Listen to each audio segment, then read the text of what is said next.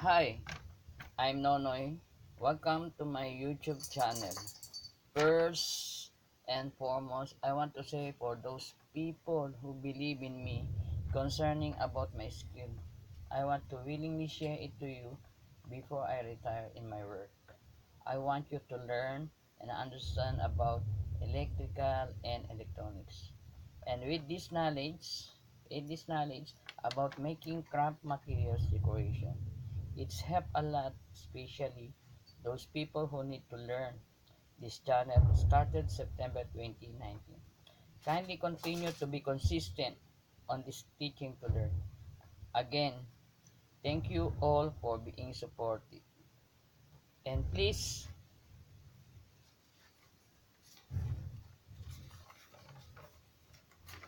don't forget to like, comment, share, and subscribe my YouTube channel. Watch space and space learn underscore nakita space ko na. So today, uh, we gonna teach you so about fire prevention. Fire prevention. So, malapit na naman po ang summer. So, we need to aware what happened this summer. Ah, madalas po ang sunog. So, dito po tayo sa electrical fire. First of all, I want you to know this inspirational word of wisdom. It's better to fail in originality than to succeed in imitation. Again, ah, this is Nonoy. Magandang umaga po.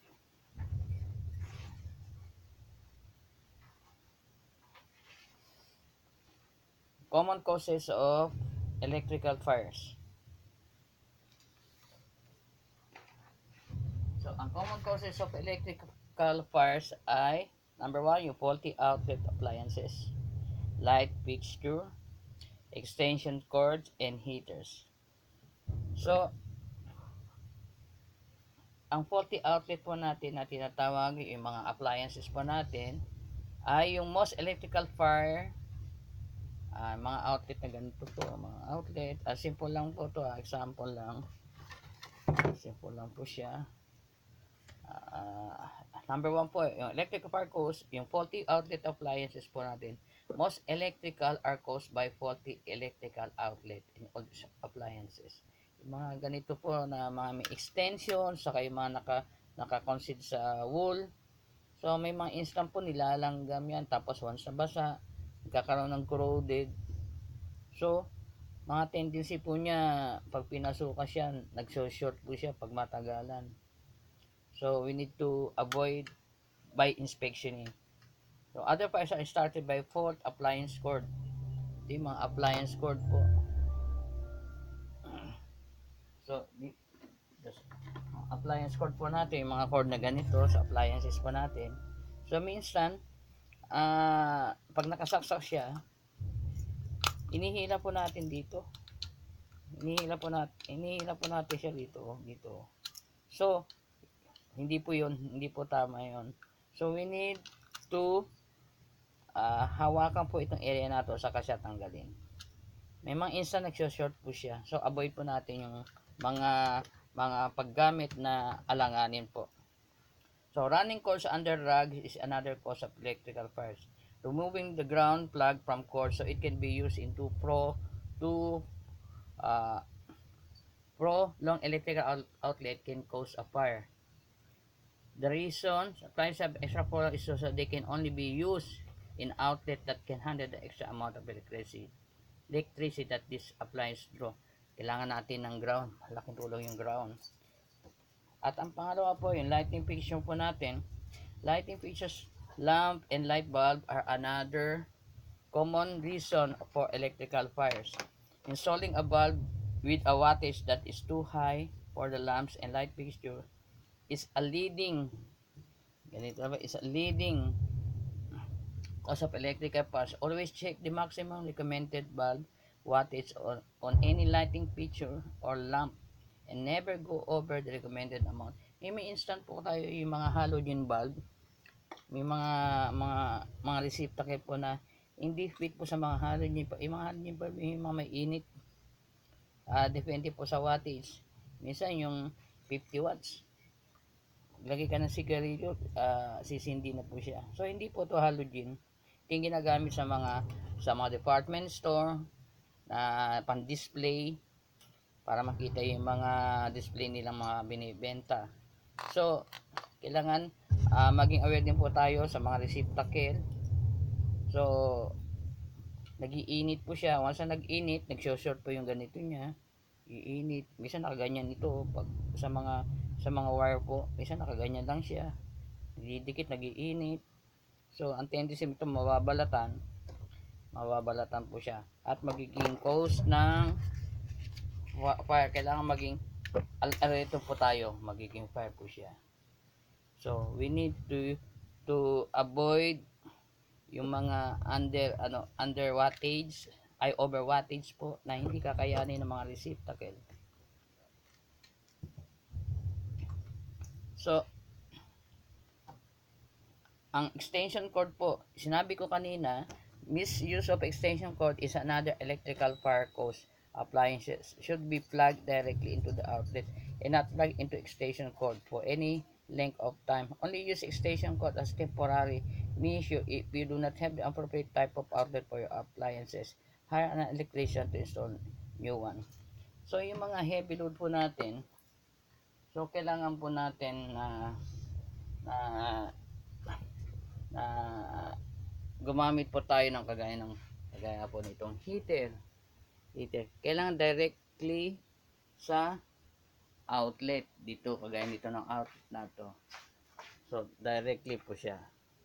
Yan yan directly na ganyan. So sample lang po siya. So yung mga appliances po natin. Directly po siya. Ayan. Direct kasi i-avoid po natin once na yung yung extension na ganitong gagamitin natin temporary lang po to hindi to pang matagalan so we need to avoid kasi nagiinit po ito pag hindi sila match ng load kagaya nitong appliances. Hindi po sila ah ah, balance ng load. Kasi meron siyang tendency mag-iinit po to kung hindi siya ah ah kino-considered na yung wire na magagamit natin hindi para match sa mga appliances na heavy load. So, temporary lang to. Kailangan po mag-avoid po na avoid po natin mga paggamit ng mga extension cord. So, kailangan direct direct direct sa outlet na ganito. So, kailangan po natin i-direct na ganito. Pagaya nitong electric fan. So, yung electric fan na yan, kailangan po natin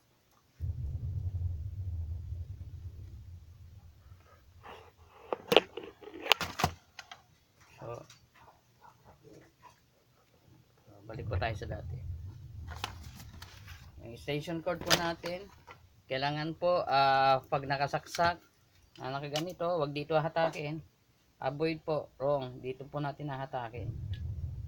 Para ma-avoid po yung yung pagka-short niya para hindi magdikit. Yung heater po natin, ito yung sinasabi ko kanina, yung heater. Kasi ang heater po natin, cause the, ay, marami po siyang klase ng heater, yung mga portable. Many times people uh, put them close to combustion surface such as curtain, cloth chairs, and rug point space heater are especially dangerous in this regard because the cold becomes so hot they will not almost co- in, as instantaneously ignite any nearby by flame or surface, sur- surface.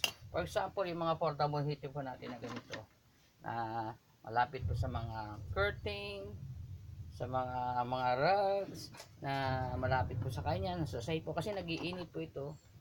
Nagiinit po ito. So itong itong surface po siya mainit. So may, may mga tendency po siya baka mag-ignite, ignite po siya. Bagay rin po ng mga electric stove na medyo mainit po siya pag gumamit tayo. Heater din po siya kasi electric siya eh. So we need to avoid yung mga mga mga sa, around sa kanya, mga malapit sa kanya. So kailangan alisin po natin. Lalo yung mga papel. So uh, ang tendency po niya ay mag mag-provoke ng fire pag mainit. So, mag-ignite po yan. So, avoid po natin yun.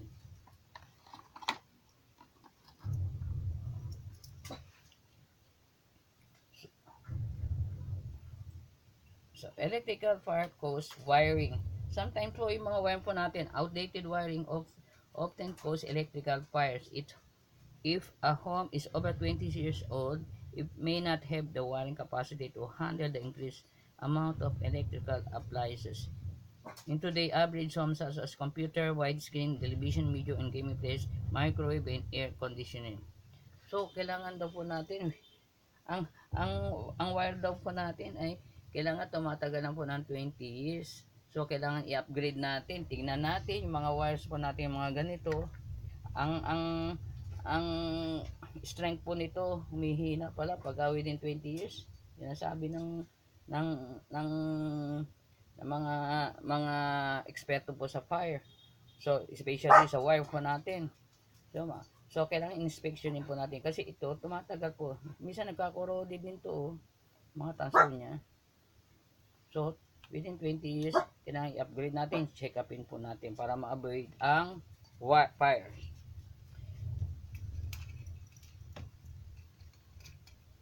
So, yung circuit breaker din po. Minsan, ang circuit breaker po natin, nagpo-form din po siya ng overload. Kaya kagaya nga nung computation natin, kailangan nagde-depende tayo sa size ng wire, saka sa load ng circuit breaker. Kung kung under under size under ano uh, capability siya ah uh, ma-overload po siya. Too much electricity but outdated uh, breaker boxes often have a worn connect worn connector that do not work causing the system system to overload and start electrical fire. Minsan po ito oh, minsan minsan may nagkakaging corroded din po siya. So yung tendency po siya yung strength ng wire saka yung electricity niya pumapasok po rito uh, instead na full full electric siya ay yung current niya na na na nag nag poprovoke po siya ng ng, ng init. So yung init na yon yun ang magiging cause ng fire. Kasi uh, nag-loosen na po yung yung yung connection niya sa katagalan po. So ang kailangan po natin i-upgrade po upgrade din po natin ang circuit breaker. Lagi natin check upin para ma-avoid po natin yung warp fire.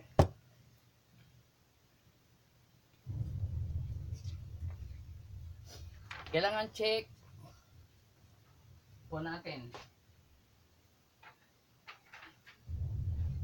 Lagi natin tatandaan, uh, we can prevent electrical fires by checking electrical outlet. Sinasabi ko na nga po kanina sa inyo, mga electrical outlet po natin.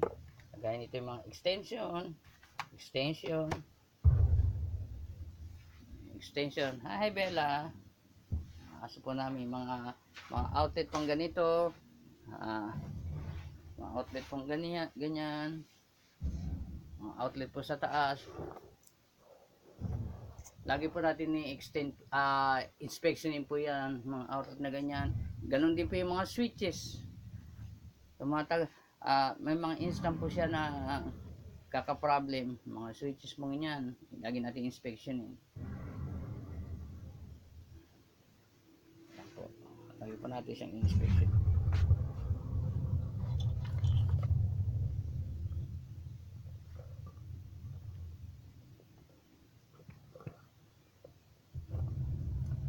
Yung plug, yung kanina ko po sinabi, mga plug na ganito, ah, uh, wag po tayong dito natin tatanggalin, wag po rito. Wag pong ganyan.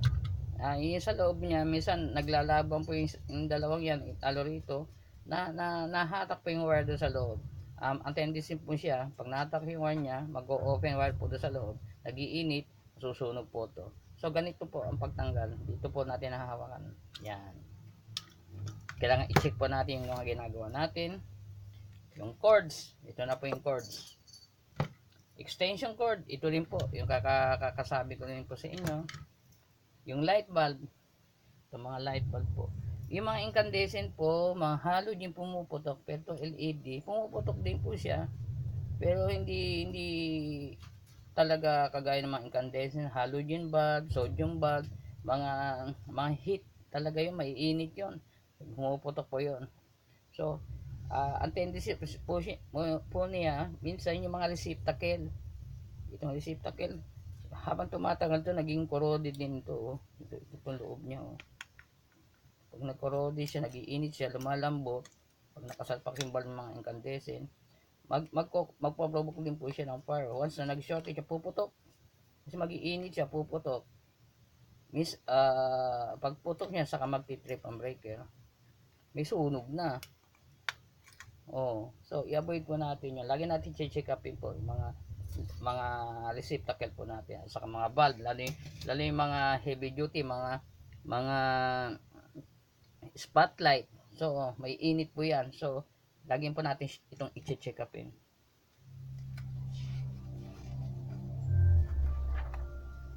Circuit breaker po natin. Ito yung circuit breaker. Kanina yung sinabi ko kanina yung sa circuit breaker po natin yung mga outdating wiring po natin na nakasalpak po rito sa circuit breaker lagi po natin ah mag-inspect ma-identify po natin pag overload mainit. Circuit breaker natin overload po yun. Instead, ah, ibig sabihin marami siyang nakakabit na appliances. So maging aware po tayo lagi natin maging lagi tayong mag-inspect. Ah, yung appliance electronics po natin. Ah, sam- simple, sample lang po to. Na nag inspect po tayo dito. Kagaya nitong stand niya minsan dito po nababasa. Pag nabasa yan kaganyan natin. Pag on po natin ng switch maya mamaya biglang puputok minsan ito nga magpo-form to pag nag-form to ng heat maluluto po tong area na to. So kailangan din natin mag-inspect sa mga sa simula sa wire hanggang dito sa mga mga external ng appliances po natin. Service capacity po natin ito yung tinatawag nating overload. Ay electrical wiring po muna tayo. Yung mga wire po natin nasabi nga po rito within 20 years so kailangan i-upgrade na po natin siya. Tignan natin kung ano ipapalitan natin. Kasi may ang tendency pa yun, yung, yung lakas yung strength niya ah, humihina na. Lalo yung pag nababasa siya yung yung loob niya nangingitim nagko-corroded so i-avoid po natin to. Kasi once na na-corroded siya ah hindi makadaloy na maganda yung current. Electrician natin pump current ah, nagpa-provoke siya ng init. At once na nag-init naluluto na po yung wire naluluto na po yung wire na ganito. Yung wire pong ganito. Ayan mag luluto po siya ng ganito at magdidikit po sa dalawang nakaganyan sa kanya. So mag, mag ah, ah, ang may mangyayari po diyan puputok at masusunog. Yung apply yung service capacity natin. Kailangan computed load tayo para malaking tulong yung computed load eh. Simula sa service capacity natin yung size na gagamitin. Papunta doon sa bahay. So we need to kailangan, kailangan po natin ng kailangan, kailangan po natin itong sundin. Kagaya ng service entrance po natin ito po. So kailangan po natin siya yan. May ma, malabo siya. Papunta rito. Ayan circuit breaker 1 2 1 2 ah sandali lang po. Kukunin ko lang po siya. Yung yung ganun natin ma, maano na po eh ma, mahina na po. So ito siya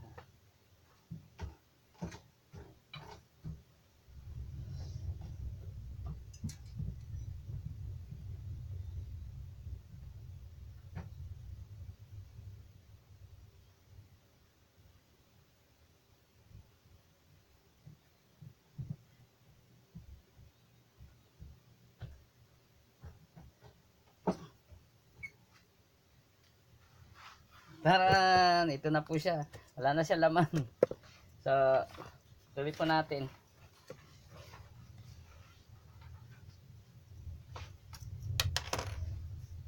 Ganito ba yung service centers po natin?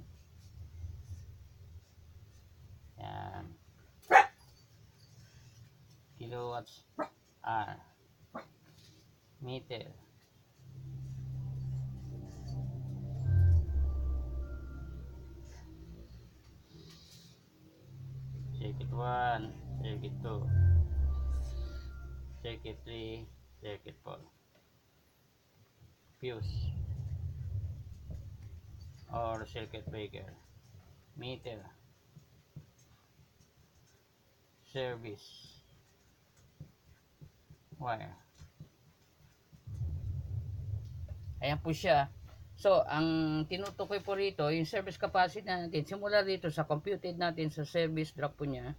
Also sa entrance cam entrance cap sa kilowatts hour meter sa fuse or circuit breaker sa distribution po ng load. Circuit 1, circuit 2, circuit 3, circuit, circuit 4 kailangan po aware po tayo dyan. Hindi tayo wiring ng wiring. So para ma-avoid po natin yung yung wire fault niya yun yung uh, poprovoke ng ng sunog.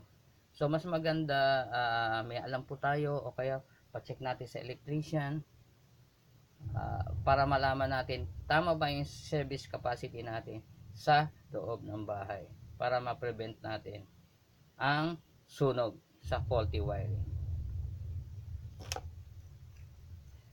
So, kailangan din po natin ng mga fire extinguisher. Laking tulong ng fire extinguisher. At kailangan marunong din tayong gumamit niyan.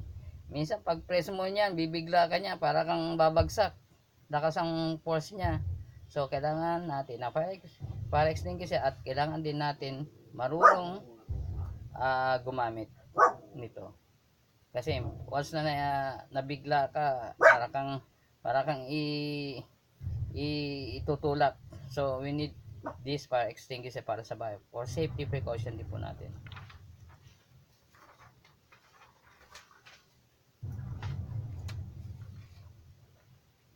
So, ang goal po natin talaga, ang fire prevention goal po natin, ay is to educate the public to take precaution regarding electrical fires, prevent potentially harmful fires, reducing emergency and the damage caused by electrical fire. So, sana ah, may natutunan po tayo. Ah, maging aware po tayo sa darating na summer na fire prevention po tayo. Ah, ma, ma maging concern tayo sa mga ginagamit natin especially sa mga appliances po.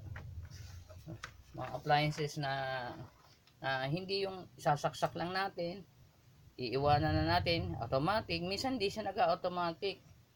So we need to aware ah, sa mga appliances po natin para ma-avoid natin ang fire sa loob ng bahay. So again ah, this is Nonoy. Ah, nagpapasalamat po ako at hangad ko po na natuto kayo. At please don't forget to like, comment, share, subscribe my YouTube channel or search watch space in space learn underscore nakita ko na. Again, this is Nonoy po. Good morning po at maraming maraming salamat sa inyo.